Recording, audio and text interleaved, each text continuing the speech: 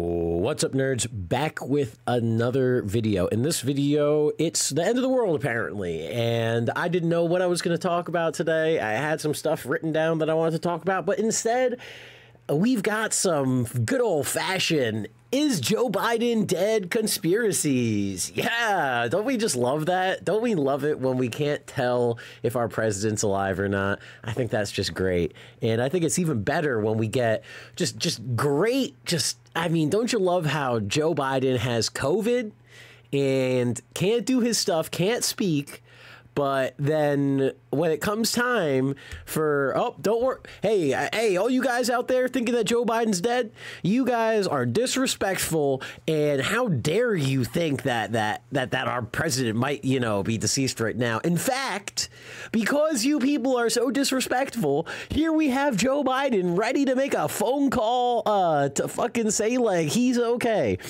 and we've got Joe Biden who is got COVID and is too sick to talk and speak at these events. But when we fucking hear him on the phone, he's like, oh, I've never felt better in my life. Everybody should go support this person. The clearest voice he's had in months. No raspiness, no anything. I mean, this is the same fucking government that's like, oh, you got to watch out for those deep fakes. You can't trust what you see online because those deep fakes, you know, they'll get you.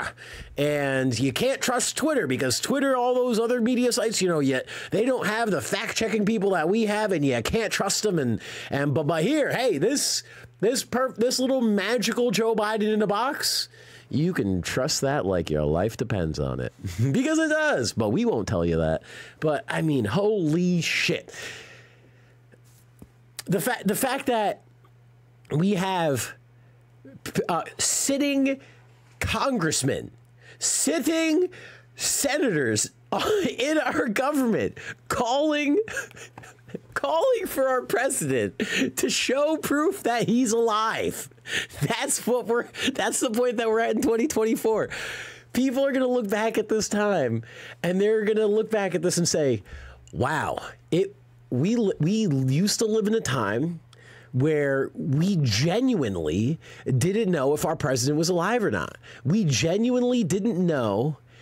You know, and we, we there were times where we weren't able to just be able like I, I imagine in the future that at least for Republican presidents or something, and especially with Trump. I mean, imagine if this was Trump. Trump would have just fucking put out a Twitter video or a fucking truth, truth or val- validity or whatever the fuck they call those things. But we know that's the president Trump is. Trump would have been on Twitter in 30 seconds on his own Twitter, making his own unhinged, obviously posted by Donald Trump tweets. But what do we have instead? We have some fucking random staffer with some random chick on stage just be like, oh, trust us, we got Biden in a box.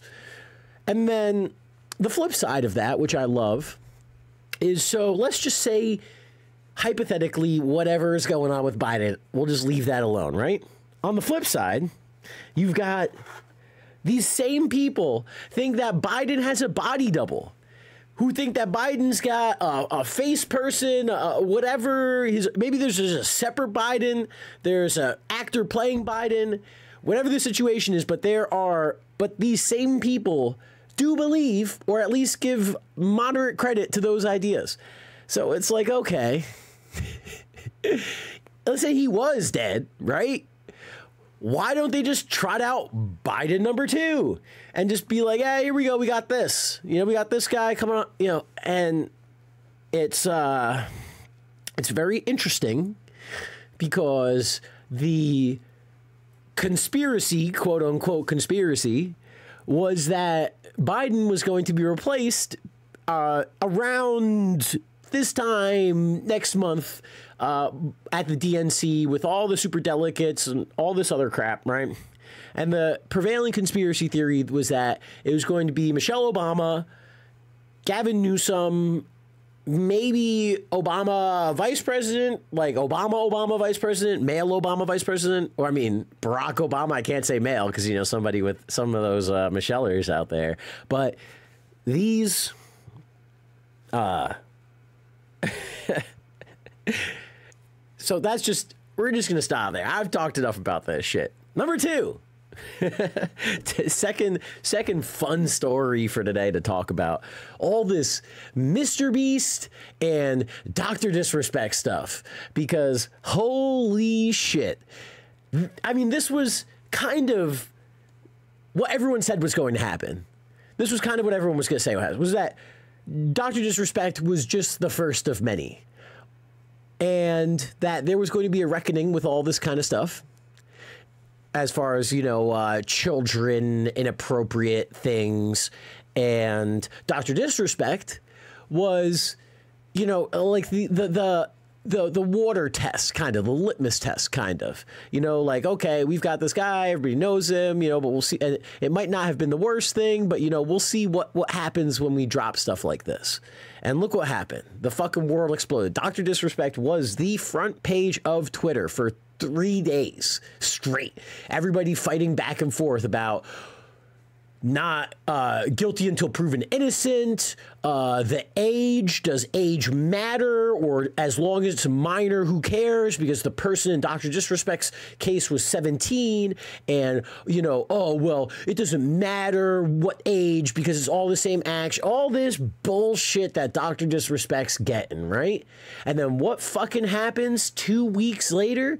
We have Mr. Beast's co-founder Chris Tyson co founded the Mr. Beast channel, a co fucking founder of the largest English speaking YouTube channel on the fucking platform. One of the largest channels on the platform, period.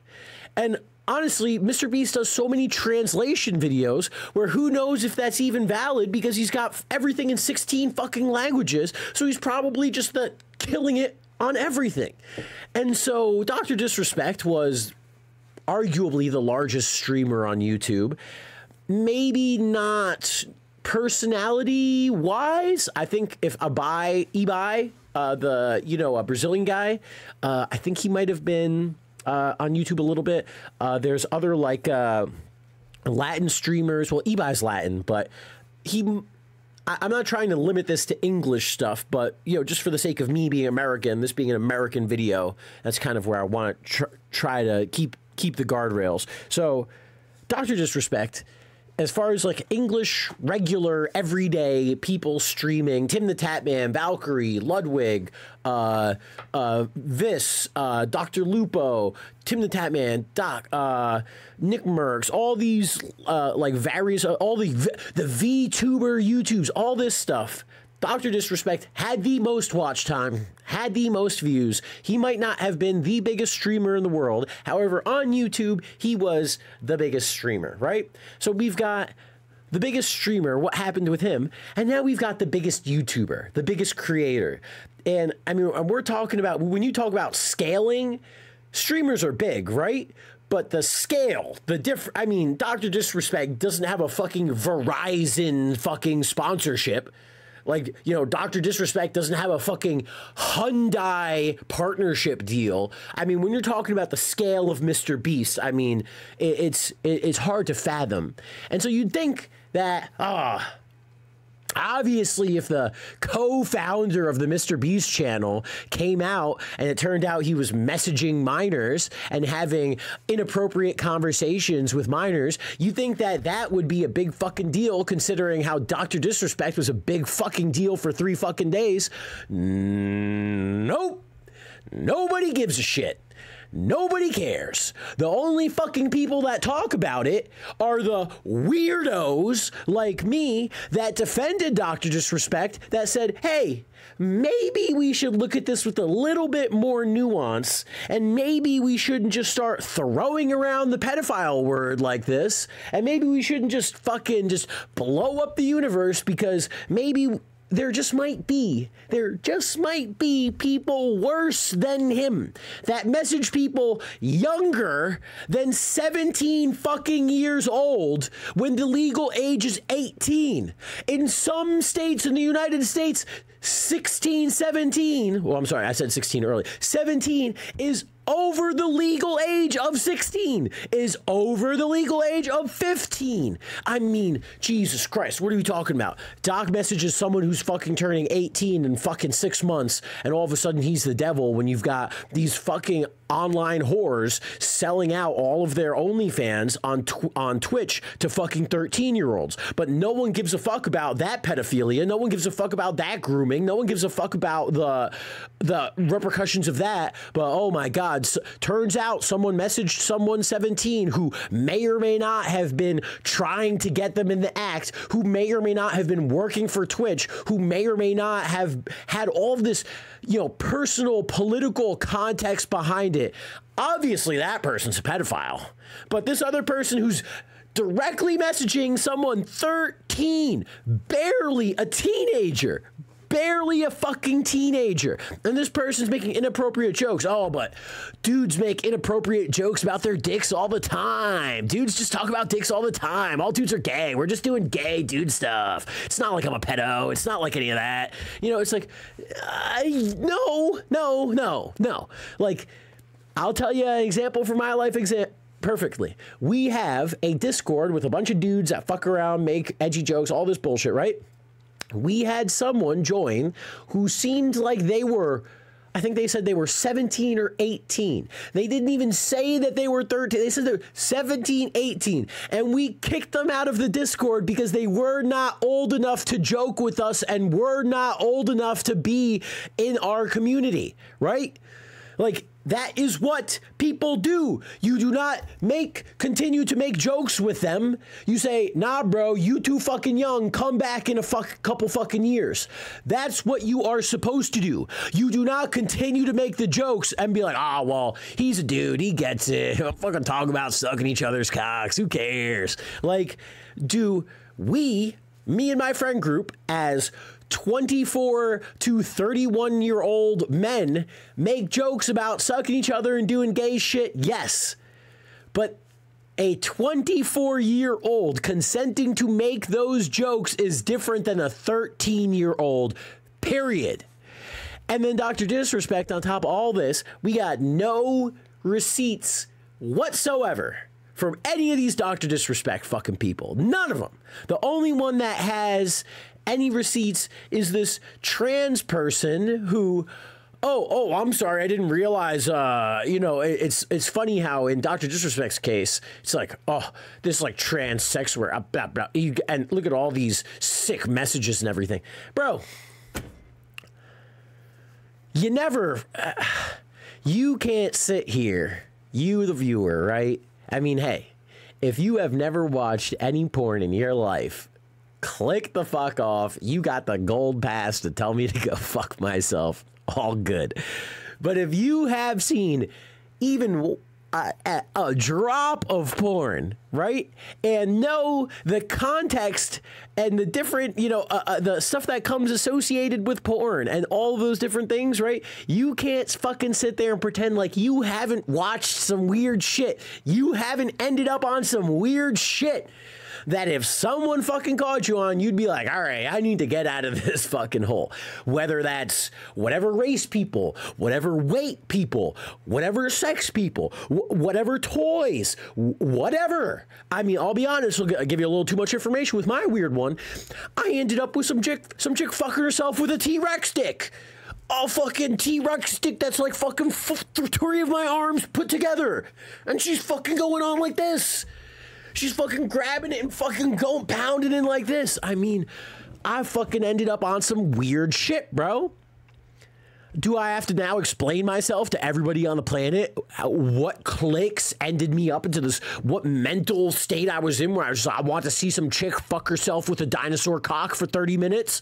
Like it, does that make me a fucking sexual predator? No I'm just fucking I'm, I'm weird I'm a fucking weird guy. Like everybody fucking else we all fucking watch porn anybody who watches porn's got fucking weird side in them somewhere and they fucking end up in porn weird porn somewhere.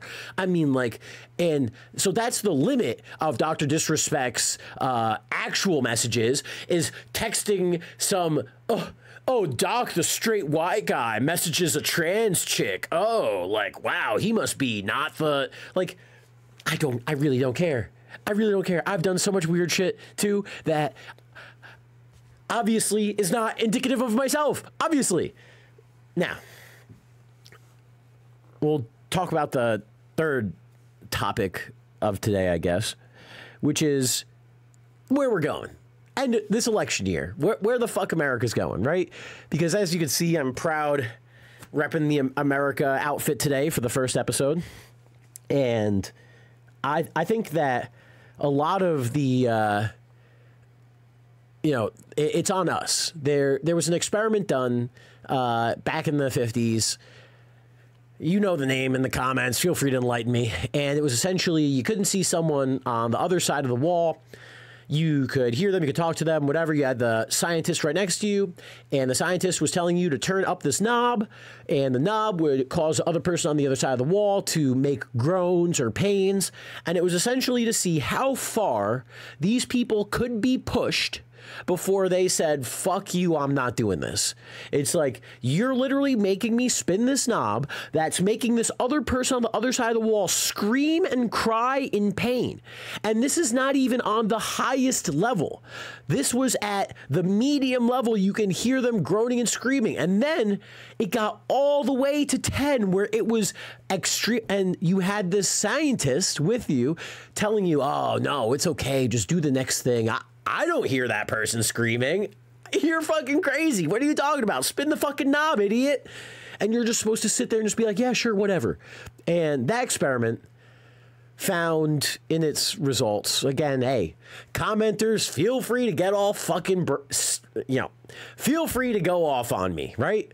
But my personal, you know, interpretation from this experiment is that there are a certain percentage of people willing to just do whatever the fuck they're told. They don't care if the other person on the other side of the wall is screaming for their life.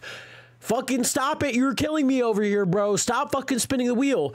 They're going to fucking listen to the scientist right fucking next to them that's saying, ah, you're good. That dude, he's he's crazy. He's crazy. We don't know. He's he's over there. He's he's just, he's just a silly guy. He's he just loves to fuck with people. Don't he's just joking with you. Don't worry about it. Crank it. And then there's the people that say, nah, I can't do this. I don't know what's going on, but I ain't participating in this shit. And then there's the smaller minority of people which will say, I got to go check out what the fuck's going on. I'm not listening to you. Like, we need to do something right fucking now because I am not leaving until I figure out what the fuck's wrong with that other person. And I really do believe that ever since we've known about this and known about these fundamental core, uh, you know, principles of human beings, because that's what this is to me. This is a when you are presented a situation with another human's being, another human being's life in your hands, one of the most uh, precious things that you could, you know, one of the most powerful, precious, uh, insane situations to be in, right? What would you do? And we found out what happened with these people. And so now the government's like, oh shit, well, hey, if we just, you know, fucking take over the planet, we're only to have to worry about this fucking 30% of people that give a shit. Everybody else is either to not participate or go along with it. So the conspiracy people out there, the silent, not silent majority, because the silent majority uh, tends to, uh, you know, not you know, they tend to be the not involver kind of guys. The, you know, vocal aspect of these people, they they need to fight hard, real fucking hard. And I believe I'm one of them. And that's why I'm fighting real fucking hard. That's why I make YouTube videos that no one watches. That's why I live my life and do things the way I do because my dad, uh, I love him, love him to death. And uh, I think it's probably an age thing, Pat, for him he doesn't think I should fight anymore. Uh, you know, and that's maybe he'll he'll paraphrase it a little bit better. Maybe he'll you know give me a little. Uh, you know, I'm going to talk to him about it obviously and see you know what his uh, thoughts are if he's changed them. But last time we him and I spoke, he's just like, man, why do you do this to yourself? Why do you stress yourself out? Why don't you just, you know, fucking go along with it? Just do, you know, do the easy shit. Let someone else, let someone else handle that. Let's, it's someone else's problem. But for me, I just can't keep turning that out.